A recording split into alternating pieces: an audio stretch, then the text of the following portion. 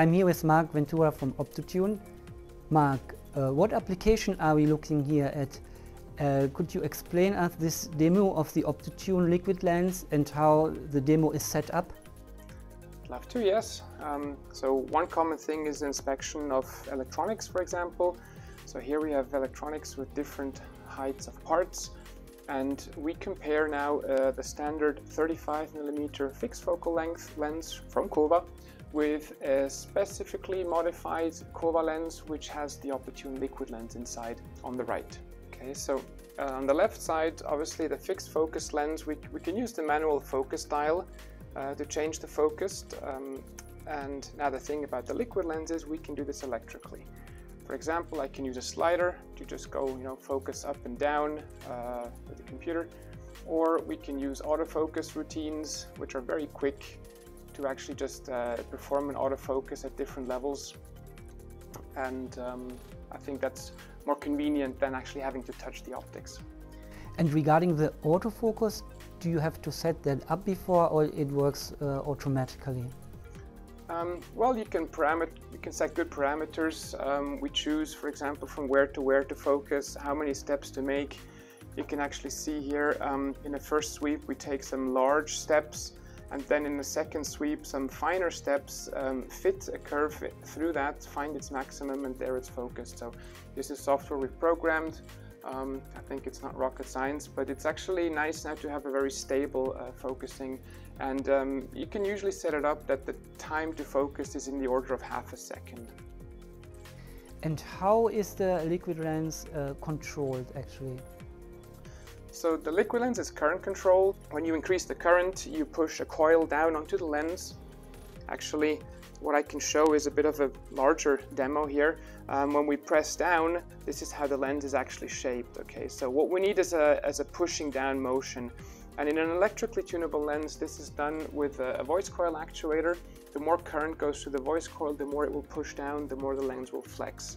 And that's essentially what we're doing when we're moving around uh, the focus here.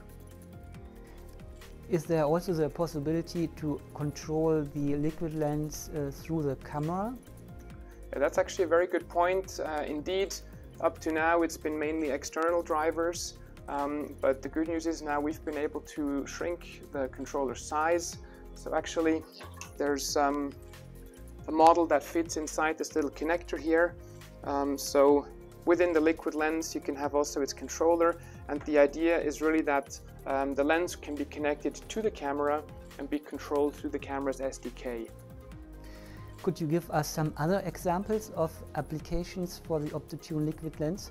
Absolutely, and there's plenty of them.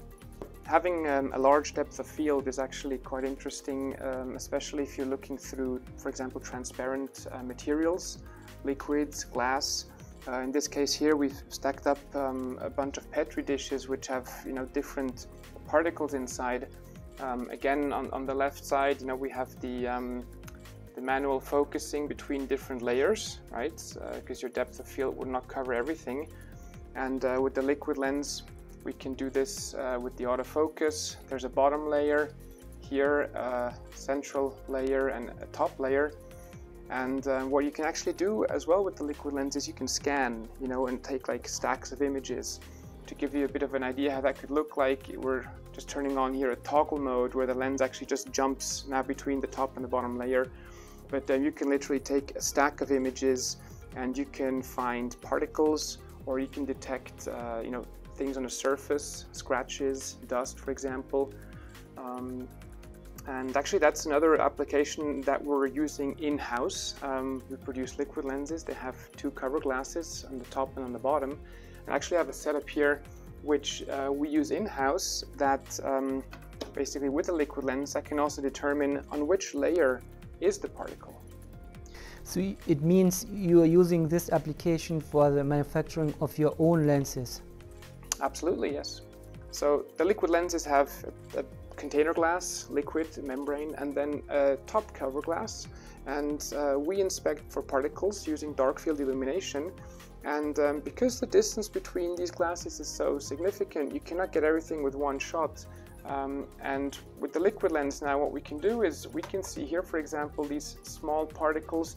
I know they're on the bottom container glass because if we now switch the focus to the top layer, I'll see different particles, for example, these bigger ones here.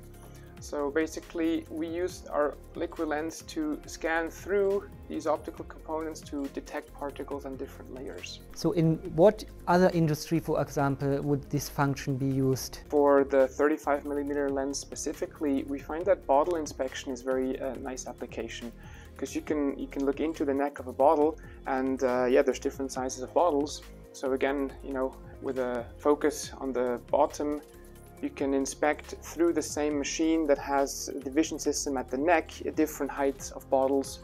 Uh, usually it's more for plastic bottles, but we're showing a glass bottle here.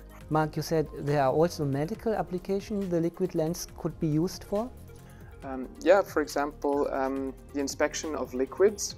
So imagine you have to produce a very clean, um, you know, bottle or liquid and um, it's actually not so easy to detect particles inside a liquid because you don't know where they are versus the depth of field. So what we can see here in this example is that there's, for example, particles which are now at the top of the uh, bottle and when I change focus I see other particles which are at the bottom. So what you can actually do is um, scan through that liquid and actually what can be done is you can you know, rotate them and make them move by machine and then you can actually just keep this uh, in focus and you'll see if, if particles are detected. So the Optotune liquid lens has to be combined with other fixed focal length lenses. Could you elaborate on the uh, possibilities of combination? Yeah, there's, I mean, there's two basic approaches. Um, some things work nicely off the shelf, like, you know, S-mount, C-mount lenses, where the liquid lens can be mounted either in the front or at the back. Um, but this is of course not fully ideal because uh, if you would design the liquid lens in at the right place, you really get best performance. So the nice thing about such customized designs is that the liquid lens can be placed closer to the aperture stop. So you usually get better performance, you get lower f numbers, better image quality. And uh, this is a nice example uh, what Kowa has done with this 35 millimeter lens. The liquid lens is actually right behind the aperture and that results in very nice image quality. In this case, also with the very compact lens we have here, we get a one inch image circle, for example. Um, this is because of the good job of the optical designer who integrated the liquid lens. Optotune is 14 years old. You have been uh, manufacturing liquid lenses since the beginning. So how have you seen the market developing? Yeah, it's been it's been growing tremendously. Um, you know, we had to learn a lot about liquid lenses and the more we learn, the better the lenses get in terms of, you know, features, aperture sizes, thermal stability, waveform quality, speed, everything has been improving. And um, yeah, the application spaces are growing, right? Um, I mean, we, we now talked about the 35 millimeter lens and its applications.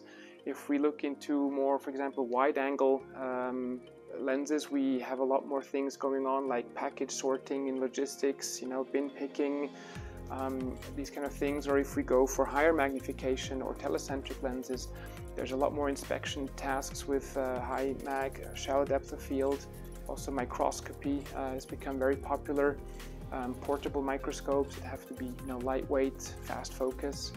Um, so yeah, we've really seen interesting um, applications pop up um, everywhere where the either the, the object is not well positioned or where you need to have a large depth of field. Um, actually, another trend for the 35 millimeter lens fits in nicely uh, is in the NIR, is if you inspect uh, or look at iris recognition, for example, um, or other body parts. So what is your outlook for the future development of the market for liquid lenses? Well, um, we still have a few lens models to develop, some maybe a bit smaller, some a bit larger. Um, but I think the, the main focus is now to get them nicely integrated into optical designs as this one here and um, there's a lot of companies working on that and especially what I'm keen on is to get this uh, interface to the camera world um, to make it more convenient, uh, you know, just to plug in a liquid lens as if it were a normal thing and uh, being able to do autofocus in the camera SDK. make it really easy to use for the end customer. And I'm sure we're to you know, move in that direction.